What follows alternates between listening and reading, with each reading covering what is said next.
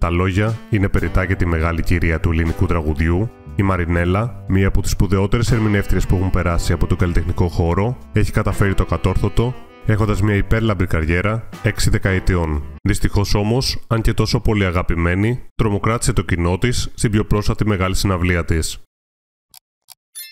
Η Μαρινέλα γεννήθηκε στη Θεσσαλονίκη στις 19 Μαΐου του 1938, βαπτισμένη ως Κυριακή Παπαδοπούλου, ενώ οι γονείς της ζούσαν στην Κωνσταντινούπολη. Είναι το τέταρτο και νεότερο μέλος της οικογένειας, μιας οικογένειας φτωχής, αλλά δεμένης με αρχές, που τα περισσότερα μέλη της είχαν κλείσει στο τραγούδι. Από 4 έως 5 χρονών συμμετείχε στην παιδική ραδιοφωνική εκπομπή Παιδική Ώρα, στην οποία έτυχε να τραγουδήσει ένα κομμάτι του Σούμπερτ. Στα 12 της χρόνια διαφήμιζε τα καταστήματα Μέλκα της Θεσσαλονίκης. Στα 17 της ακολούθησε ως τοπιός το θίασο της Μέντζ Λοράνς, όπου έκανε περιοδία σε όλη την Ελλάδα. Δίπλα της, οι ανερχόμενοι τότε ηθοποιοί Κώστας Βουτσάς και Μάρτα Καραγιάννη, κάποιο βράδυ η τραγουδίστρια του θειάσου αρρώστησε και η Μαρινέλα που ήξερα απ' έξω όλα τα τραγούδια την αντικατέστησε. Τραγούδισε το άνθρωπός μου της Σοφίας Βέμπο με αποτέλεσμα να γίνει ακολούθως η βασική τραγουδίστρια του θειάσου.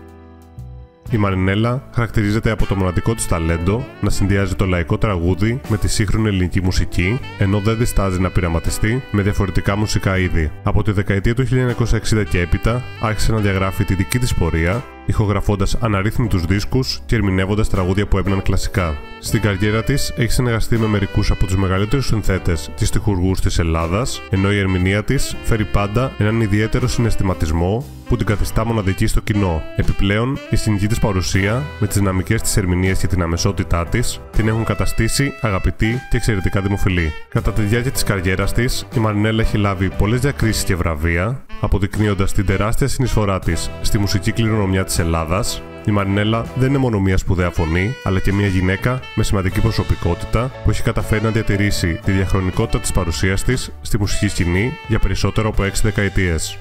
Άντρε σταθμοί της ζωής της ήταν ο Στέλιος Καζατζίδης, ο Φρέντι Ερπιέρη και ο Τόλι Βοσκόπουλος. Σχέσεις οι οποίες με τον έναν ή τον άλλο τρόπο συγκλώνησαν το Πανελλήνιο.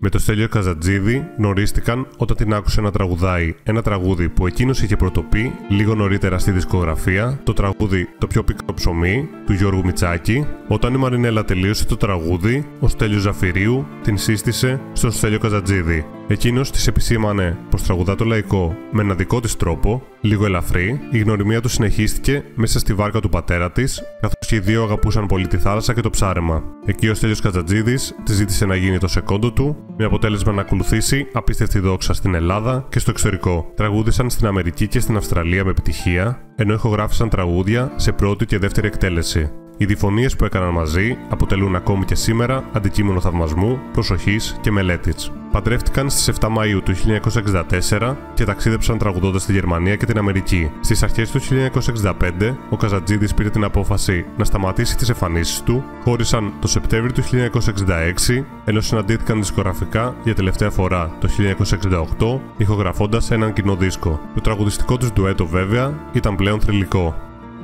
Την περίοδο